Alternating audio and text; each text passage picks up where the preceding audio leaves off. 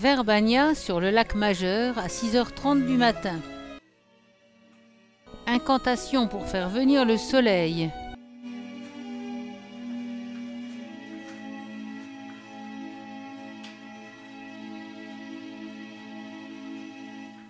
Et encore un monument aux morts. Toute cette promenade n'est qu'un mémorial aux morts divers et variés de Verbania.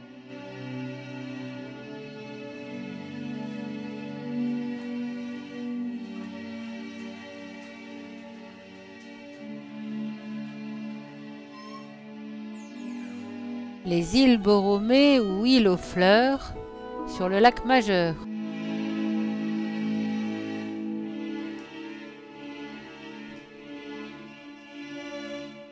Panorama de notre future croisière avant de prendre le taxi. Mais croiser Isola Bella, la bien nommée, et ses jardins suspendus est un merveilleux spectacle.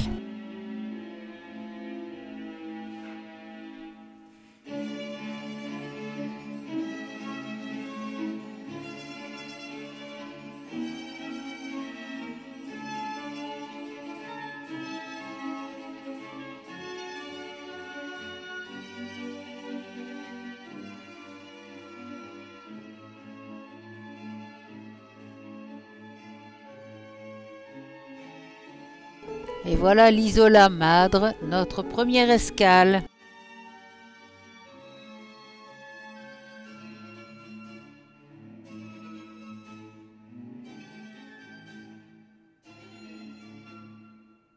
Sur la montagne en face, qui appartient à la famille Borromée, on aperçoit une carrière de granit et plus loin une carrière de marbre.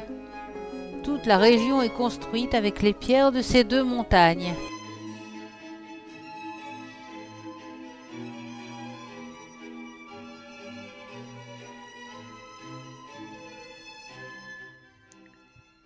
L'Isola Madre a été habitée depuis au moins le IXe siècle où l'on ne trouvait qu'une église et un cimetière. Il y avait déjà des oliviers. À partir de 1501, Lancelot Togo Romeo y introduit la culture du citronnier venu de Ligurie et commence la construction d'une demeure qui va s'agrandir et s'embellir pendant tout le XVIe siècle. À partir de 1825, les vergers ont été convertis en un immense jardin anglais romantique. La forêt a été préservée au nord-ouest de l'île. De la terre a été amenée par bateau pour habiller la roche nue. Les racines de certains arbres restent apparentes faute de pouvoir s'enfoncer dans la couche de terre insuffisante.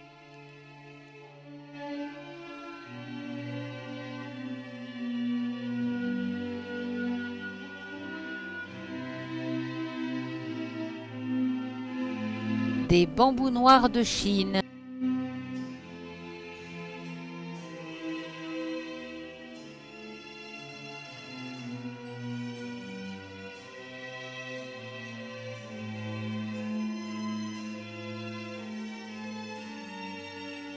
À une tempête en 2006, ce cyprès du Cachemire vieux de plus de 500 ans a dû être taillé et aubané.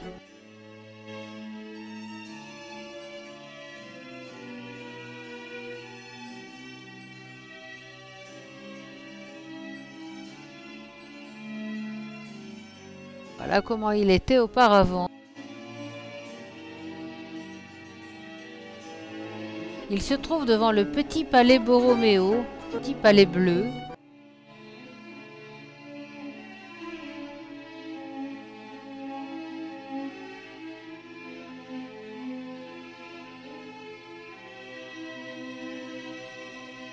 Avec sa chapelle privée et son petit plan d'eau en contrebas. C'est un palais d'été habité quelques mois par an et destiné uniquement aux réceptions et aux plaisirs la grande salle qui donne directement sur le parc,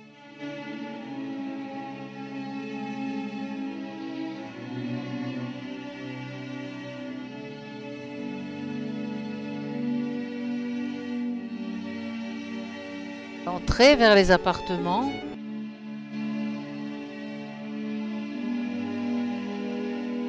la petite salle à manger que les Borromées n'habitent pas car elle est trop petite.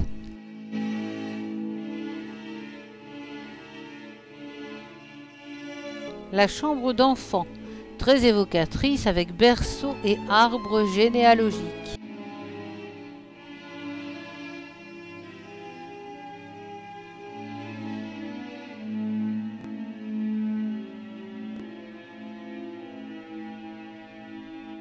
À partir d'ici, la visite devient magique. Un théâtre de marionnettes avec personnages, décors et toute la machinerie.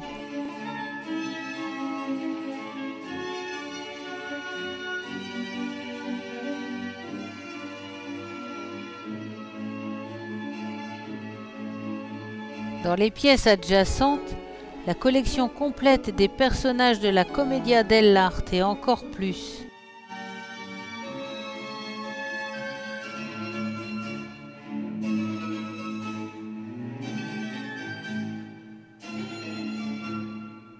Non pas des marionnettes de chiffon, ce sont de véritables œuvres d'art. Et il était interdit de filmer, on se demande pourquoi.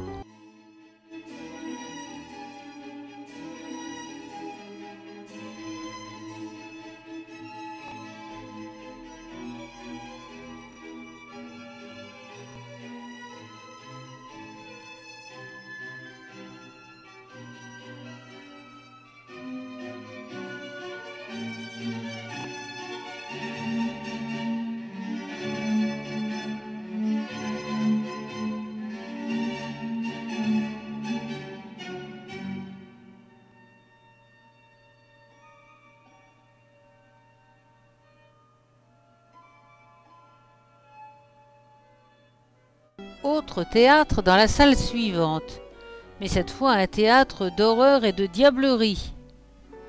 Autant de précision et de réalisme que dans la version précédente.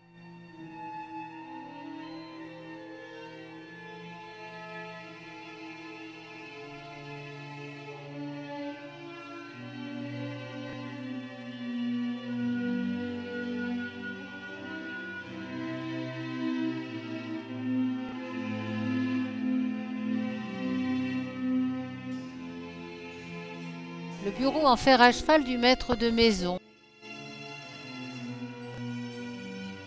et le portrait de sa femme, Clélia Borromée, qui avait organisé là un genre de café littéraire avec des artistes, euh, écrivains, poètes.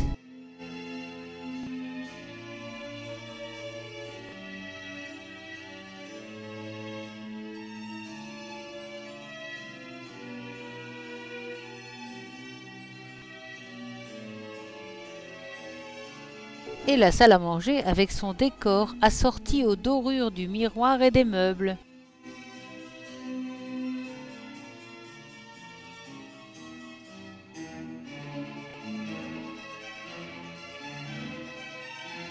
Cette salle a été décorée au XVIIIe siècle.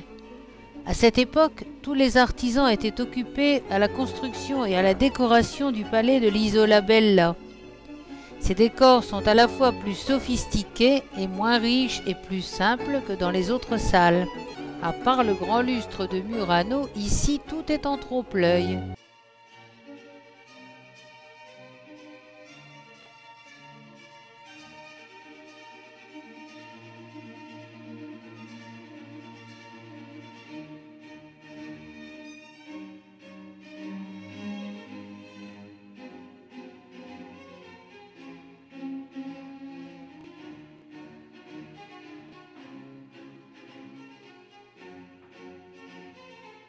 En sortant, la petite chapelle privée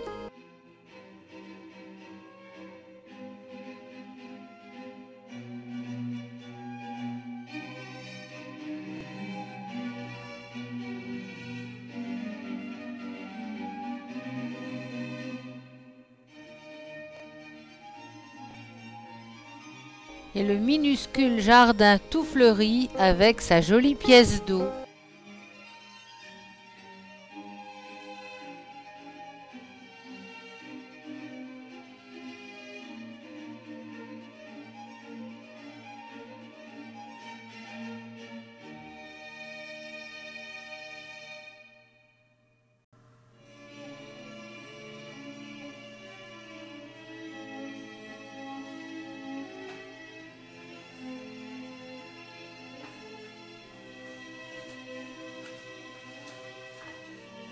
En quittant l'île la Madre, nous croisons un des 50 îlots qui parsèment le lac majeur.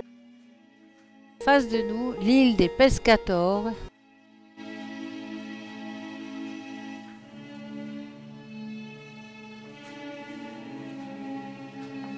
Et voilà déjà l'embarcadère.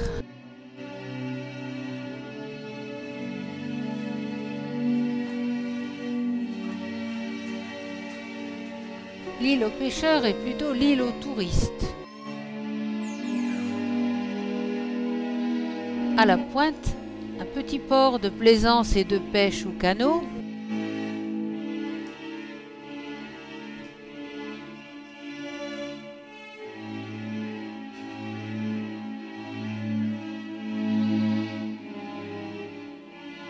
L'île est tout en longueur et la façade opposée à la rive du lac est une longue promenade paisible.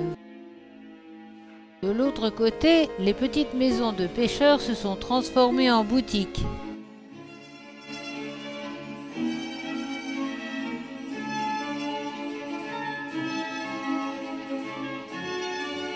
Au milieu de cette double rangée, une rue étroite, encaissée, où se succèdent les commerces.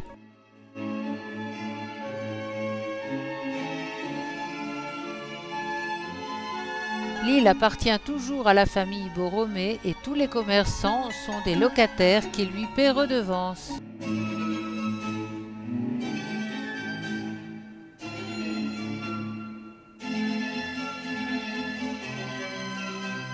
Ah, au milieu de ces tabliers, il y en avait un pour moi.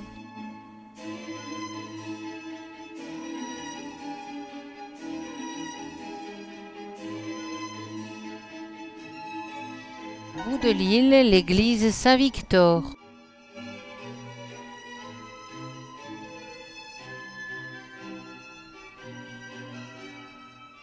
L'hôtel principal avec ses évêques en argent est assez morbide. Par contre, les fresques naïves du baptistère et de la petite chapelle, qui datent de 1878 et sont en cours de restauration, sont assez belles.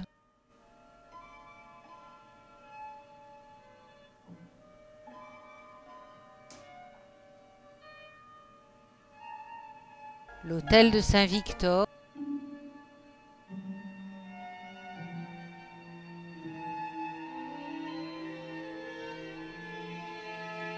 Truelle San Vittorio.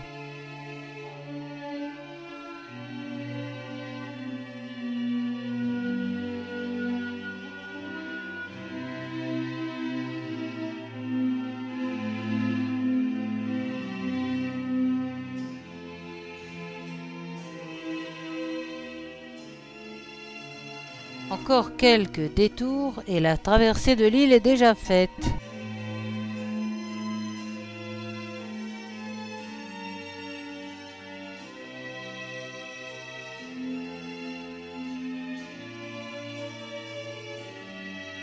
En face, Isola Bella, notre prochaine escale.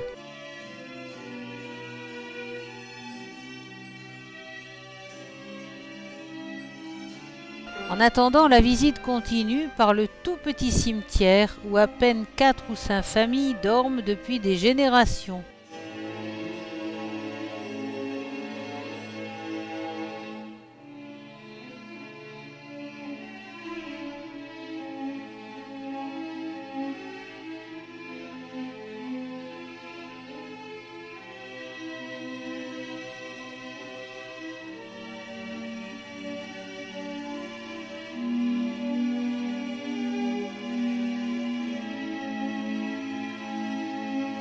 Nous sommes bien dans un cimetière de pêcheurs.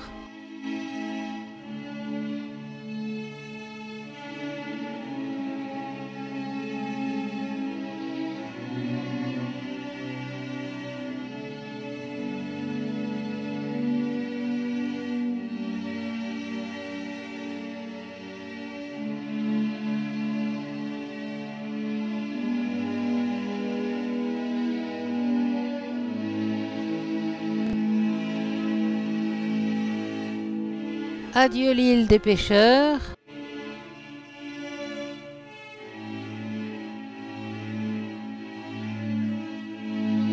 Bonjour Isola Bella.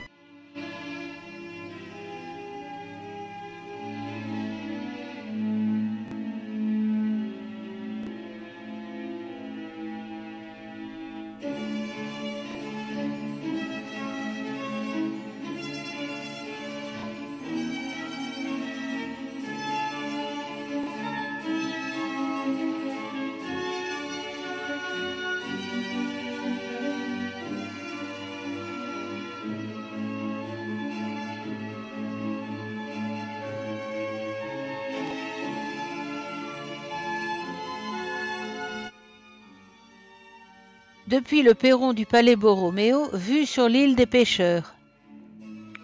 Les photos sont interdites, mais quelques-unes sont passées quand même. L'entrée de l'antichambre, dont le plafond est recouvert d'un médaillon représentant Sélénée, déesse de la lune, avec Endymion. C'est une peinture de Tiepolo de 1690. La salle Lucia Giordano, avec au centre une selle en ivoire, ouvrage vénitien qui date de 1400.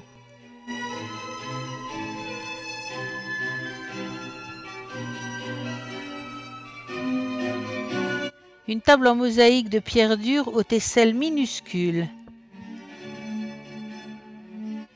Et enfin, la célèbre salle des tapisseries flamandes qui date du XVIe siècle.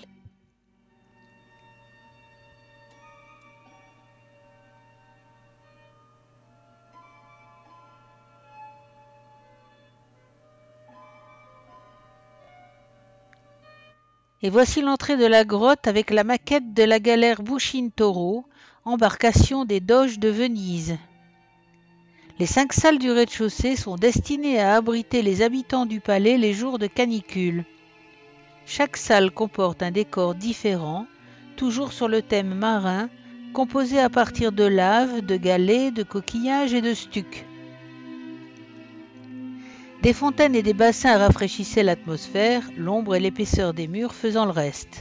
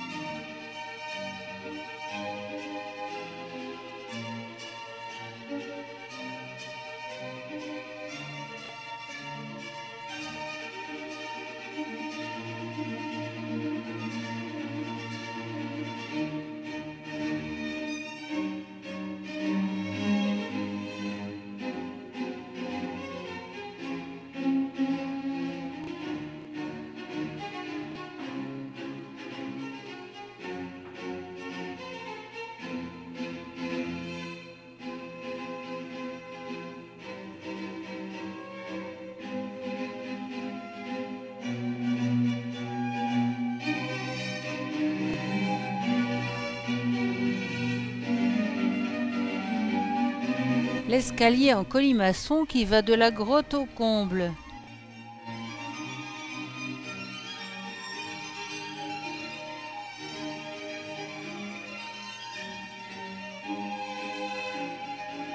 On remonte au premier étage. De la fenêtre, vue sur la placette en contrebas,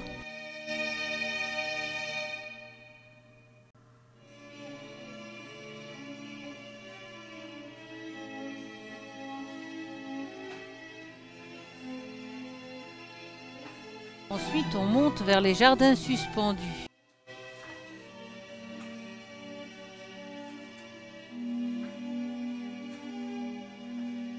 Et l'on découvre le théâtre Massimo.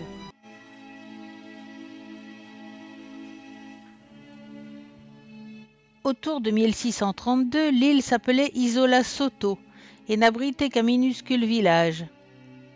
Cette année-là, Carlo III Borromeo décida d'y construire une résidence pour sa femme Isabella d'Adda et l'île devint Isola Bella.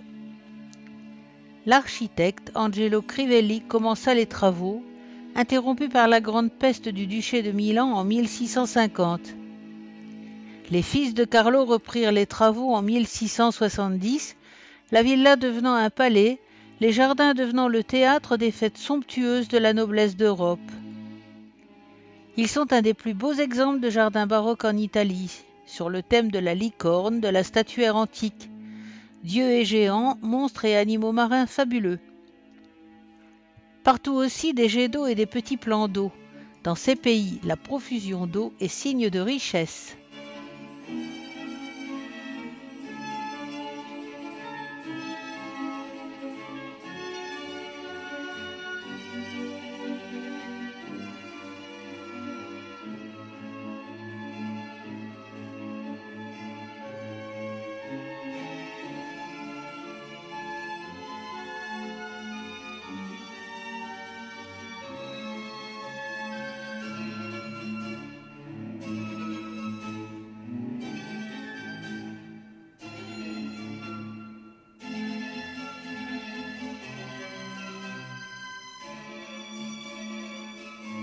Et puis un coup d'œil sur les terrasses à l'arrière.